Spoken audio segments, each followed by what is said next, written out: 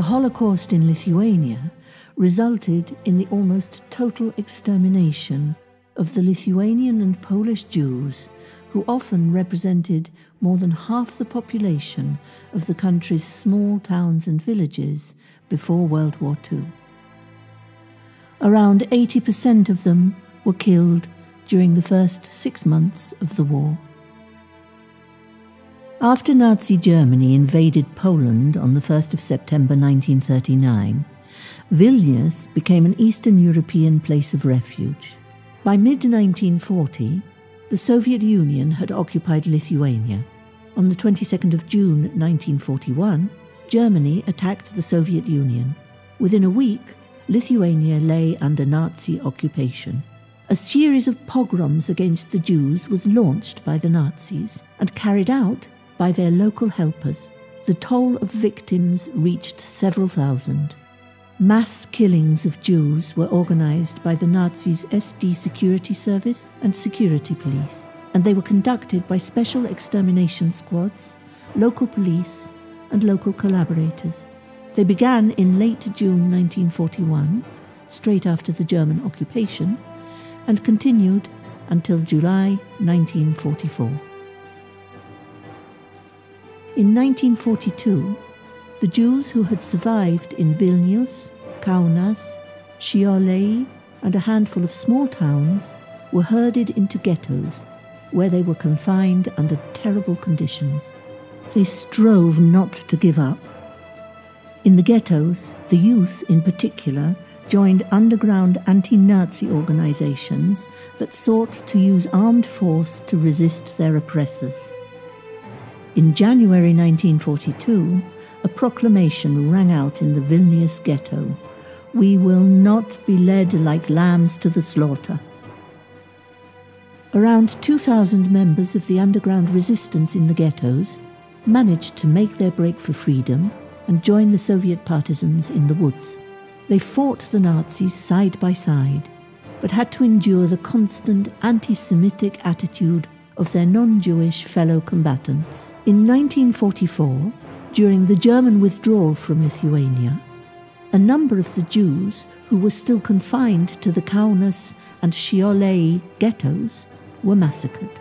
Those who weren't slaughtered were deported to the Nazis' Stutthof, Dachau, and Auschwitz concentration camps.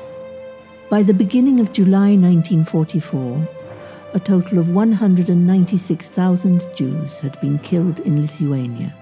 No more than 9,000 came out of the Holocaust alive.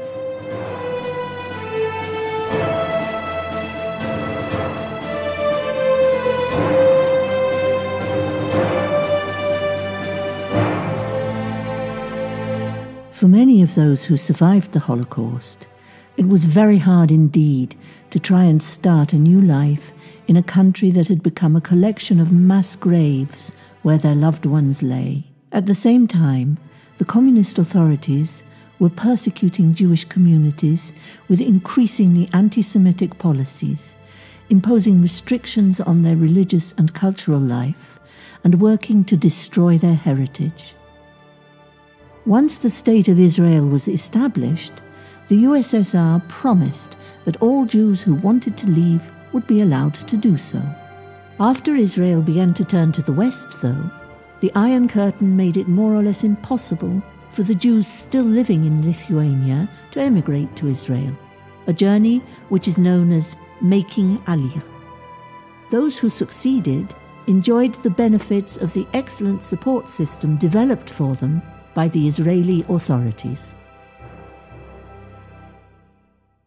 Esu Neringa Latvytė, Vilniaus universiteto komunikacijos fakulteto lektorė ir tyrėja. Mūsų projekto pavadinimas yra Gydant sielos žaizdas. Ir projektą sudaro istorinis tyrimas bei šių dienų dilemų aktualizavimas. Aš jau 20 metų turiu holokaustą ir su juo susijusias e, temas, todėl projekto metu sukurta paroda tai ir yra mano ilgo tyrimo atradimų dalis. Projekto metu buvo kalbinamos e, holokaustą išgyvenusios moteris, e, kurios suprasdamos projekto svarbą sutiko pasidalinti savo trauminėmis patirtimis ir nutilėtomis istorijomis. Taip pat projekto metu mes kalbinome ir holokaustų išgyvenusių moterų dukras bei anūkės ir supratome, kad trauminės patirtis, net jeigu jos yra ir nutilėtos, jos yra perdodamas iš kartos į kartą ir tarsi paveldimos. Šimtamečių moterų